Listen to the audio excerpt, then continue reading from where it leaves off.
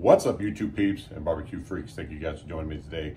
In today's video, we are going to cook uh, a brisket and some ribs on my new Z Grills pellet smoker. I'm really excited about this cook. I'm excited to bring you guys along, show you this grill. Um, I do have another video where I kind of go into a little more detail about the grill, why I decided to team up with Z Grills and um, use their, their pellet smoker in my videos. But I just wanted to shoot this quick clip uh, because I am going to do a cook tonight. It is Friday night. I'm going to do a, I'm, I'm going to do an overnight cook. So most of this footage will probably, at, at least the, the beginning of the, the, the uh, cooking process is going to be done at night. I'm not sure how much light I'm going to have outside. Uh, so you may not be able to see a whole lot, but I'm gonna take you outside. I'm gonna show you the Z grills. I'm gonna talk about it uh, just a little bit. And then we are going to get uh, this brisket trimmed up. We're gonna get it seasoned up. The ribs, I'm not gonna do until the morning, but we're gonna uh, uh, season this brisket up, get this Z grill running later tonight, throw it on, let it go, and we're gonna see how this Z grills uh, pellet smoker does on uh, brisket and ribs. Now I will say I have done a cook with uh, with the Z grills on brisket and ribs probably about a week ago. Didn't film it. I, I honestly I wanted to like give it a test run and you know kind of see what I thought. I was really happy with the results. So I'm gonna put this on video. I'm gonna bring you guys along and um, show you what this grill looks like. I'm really excited about this grill. Um, we're gonna head outside before it gets dark. I'm gonna show you the grill and then later we'll come back inside, get the meat uh, trimmed up, seasoned up, throw it on.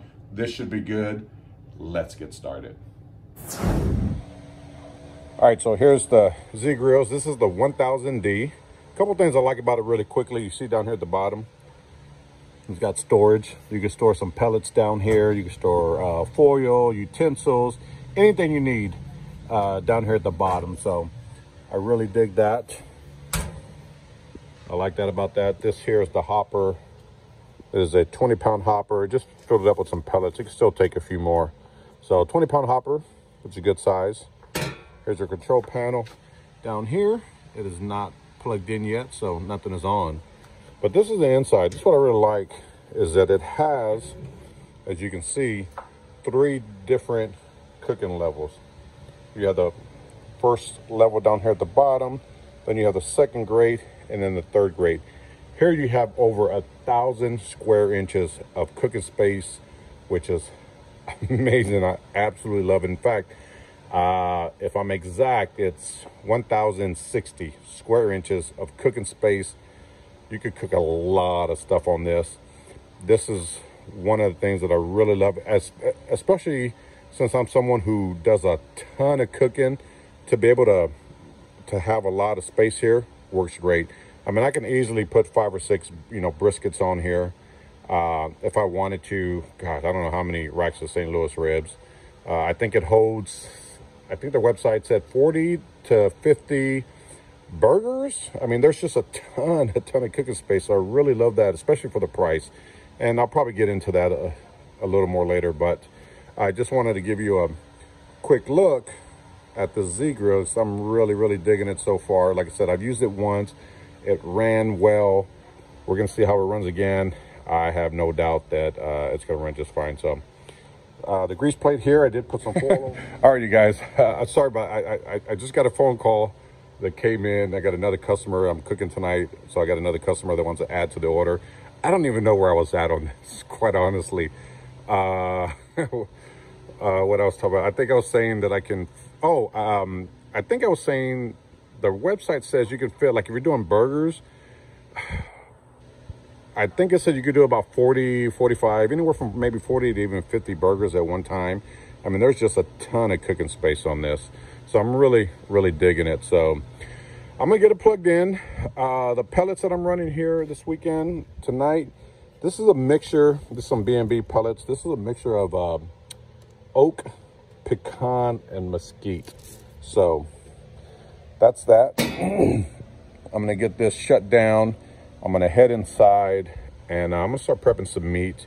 I just wanna give you a quick rundown of the grill, kind of give you an idea what it looks like. But I love, and tonight, I don't know if I'm gonna use this top grate tonight. I'll definitely use this middle grate and the bottom grate. Um, but I love having three layers of cooking uh, space because I do a lot of cooking.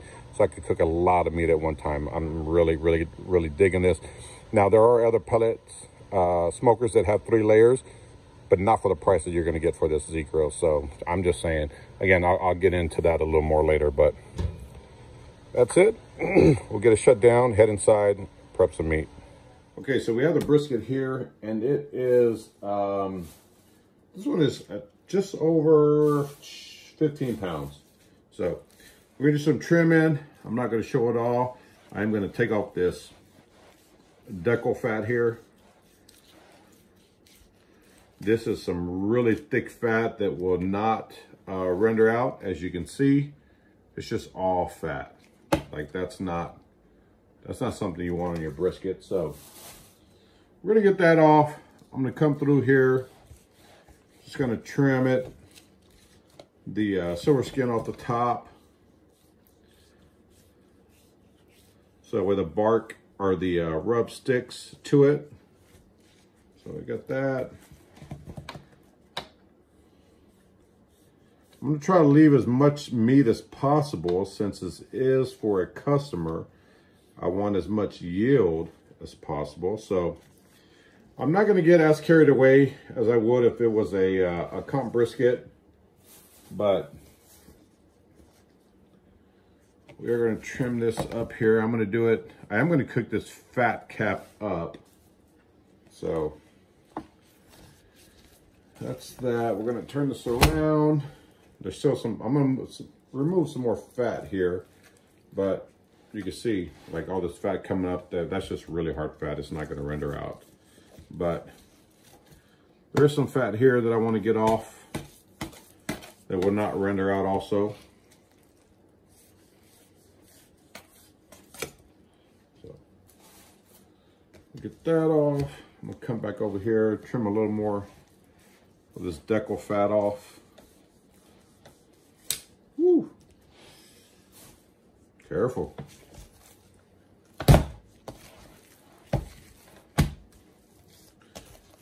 spread it out. I'm kind of thin this out or even it out.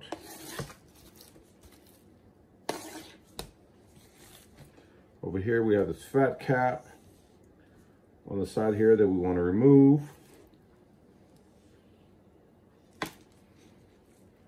And I'm just coming in about half an inch. A lot of times the side of this brisket will have some discoloration from the steaming process when they vacuum seal this or put in the Cryovac. I'm gonna flip this over. You can see, I think you can make it out here. Hope you can make it out here. There's a lot of fat here. So we want to remove some of that. So I'm gonna get this trimmed up. I'm gonna leave about a quarter inch flat or uh, a quarter inch of fat all the way around. I'll show you what that looks like once I'm done trimming it all up. Or, uh, yeah, trimming it up, removing some of this fat. I'll show you what that looks like. All right, so I have my brisket here. I trimmed up uh, the fat as much as I want. I'm gonna take some Worcestershire, some W sauce right over the top from and Perrins. And then you know, just kind of give this a good little rub.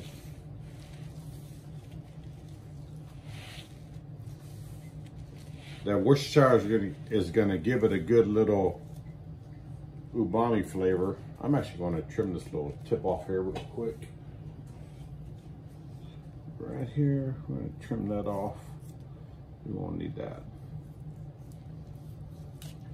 Right there, so trim. Uh-oh, uh-oh, uh-oh, calm down. Get in the sink. So, I'm gonna rub this down. A little more W sauce, Worcestershire.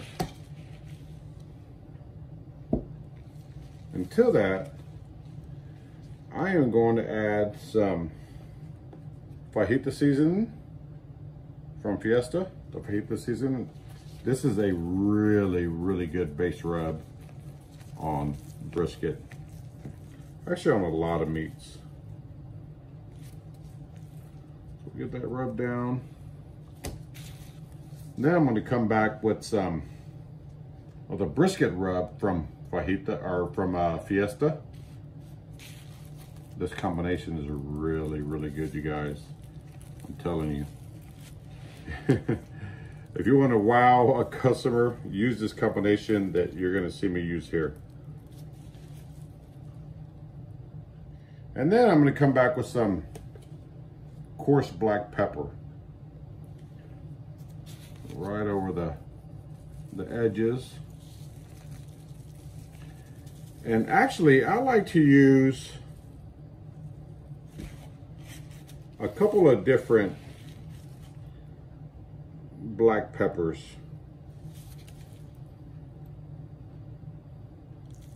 So this one is a little more coarse. And then I'll come back with one that isn't as coarse. Let's see where I can, oh, I got it right here. No, that's not it. Where did I put it? Right in here, this one. I'm going to use is, um, it's a little less coarse, but I like to use two different peppers. Texture wise, I think it just works better. This one, this one is actually a coarse uh, black pepper that I just put in this container. Uh, the first layer that, that I put was actually a little more coarse than this. But I, I like to use two different ones. And I probably should have put this one first. So we're gonna add that. Do that here.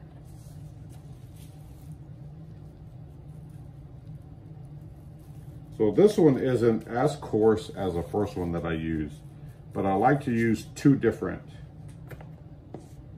peppers. Um, pat that in.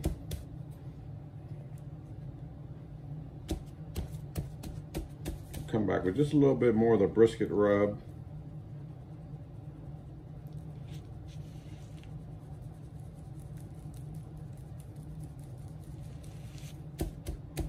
We're gonna flip it over. We're gonna do the uh, fat cap side. We're gonna add some Worcestershire.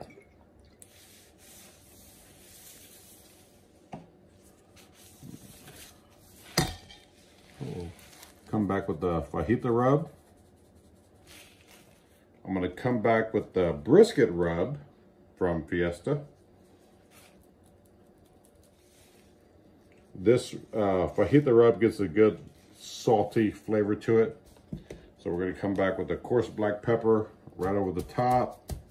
And I, actually, I'm gonna use both of them. This one's a little more coarse than the other one.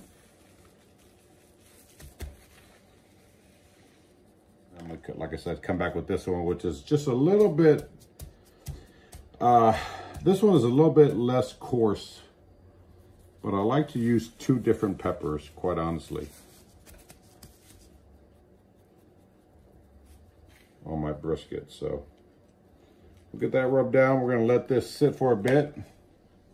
This will probably sit for about an hour. Get all this rub in here. We're gonna let this sit for about an hour and then we'll get it on the smoker. All right, so got the brisket on. I've got a, his here is the uh, point from another brisket. So we're gonna just season that up, throw that on. I've got it set to smoke under the bottom. So we're gonna let this run on smoke for, I don't know, about two to three hours and then we'll bump it up to about 250 and let it finish off. So this is what it looks like so far. Get the lid closed, let it cook, and check back in, uh, I guess in a few hours. Hey guys, we're gonna take a look at this brisket. It's been gone for about eight hours. Oh yeah. I have come out throughout the night and spritzed it. And I'm using some, uh, it's just a 50-50 mix of uh, apple juice and apple cider vinegar. So, what it looks like, looking good. This bark is pretty much set. So, I'm gonna wrap it soon. This here is just a, uh, a point from a previous brisket that I that I had. So, gonna give it a quick little spritz.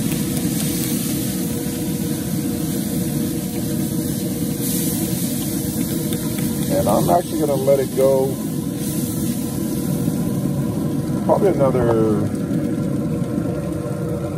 I don't know, 30, 45 minutes. And then, whew, hot. We'll take it inside and wrap it. So, that's what it looks like. We're gonna head inside and uh, start trimming up some ribs. All right, this brisket is ready to wrap. We're gonna take it right here. Pretty, man, this thing is tender already. Nice little jiggle. I like it. I'm happy with that. By the way, this is a um, a prime one brisket, if anyone's wondering. So there's that. I am going to get it wrapped up.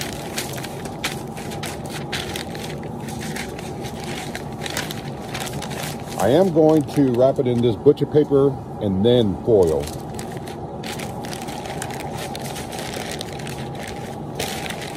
come underneath here.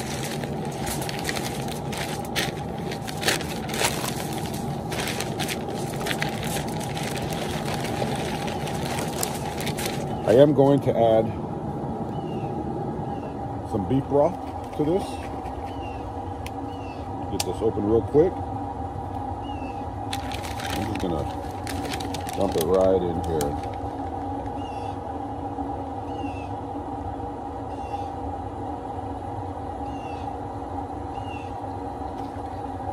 So this is why I'm using foil also to help hold this liquid in here. Actually, I want to come under with it.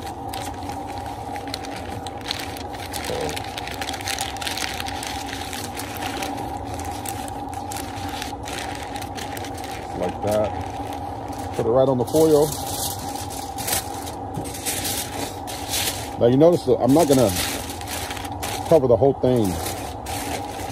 I'm going to kind of leave it open like this. This again, the foil is just to kind of help um, hold those moistures, they uh, hold the uh, beef broth in. So I'm not really worried about closing it all the way like I would if I was only using foil. So that's it. We're gonna get it back on the pit, let it go for another hour, and it should be done. All right, so this brisket has been resting for a little while. We're gonna start cutting it up. Actually, let me put on the glove real quick. This glove on. And then we're gonna trim this brisket up, see what it looks like.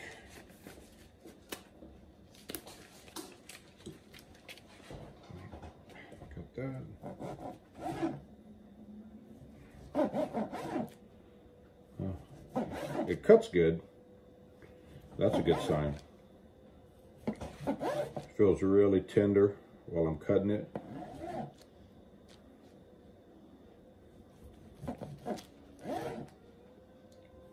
We're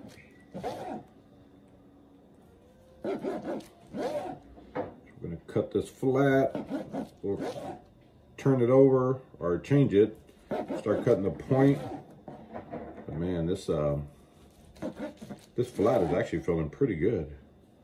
In fact, I want to take a a look at this. Take a look at this one right here. This little piece. Oh, yeah, that's just falling apart. I can't even pick that up. Ah. Yeah, that's tender. that is good. Very, very tender. Let's see what that looks like. Actually, we're going to do that right here. Oh, yeah. That looks good. Right there. Yum. Get this cut up. So I'm gonna get the rest of this cut up and then we'll give it a little taste test. once I um, once I'm done cutting up. All right, so this brisket is done. It's been resting. I sliced it up. Um, I got some right here from the point, which is my favorite part. I hate the flat. I don't like the lean, quite honestly. So we're gonna take some of this point here. And this bark, man, let's see. I don't know if you can pick this bark up, but good gosh almighty, that bark is amazing. It looks so good. So let's give it a taste. That Z Grills definitely put a beautiful uh, smoke ring on this meat. It did an excellent job. I was really surprised the temp, it held the temp. I mean, it fluctuated, but no more than like 10 degrees, which is, you know, normal, whether you're using a pellet smoker, a Weber, an offset, or anything like that. So it, you know, temp-wise, I think it ran perfectly. Anyway, let's give this brisket a taste. Right here. Salute.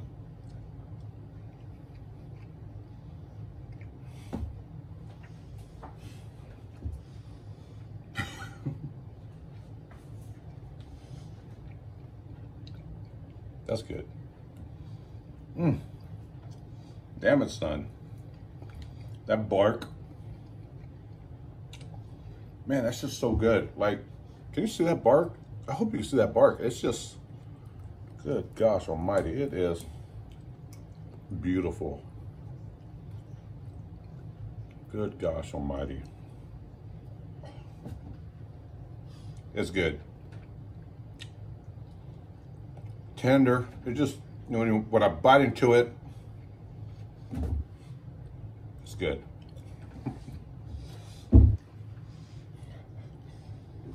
I need a napkin. Mmm. Good gosh almighty.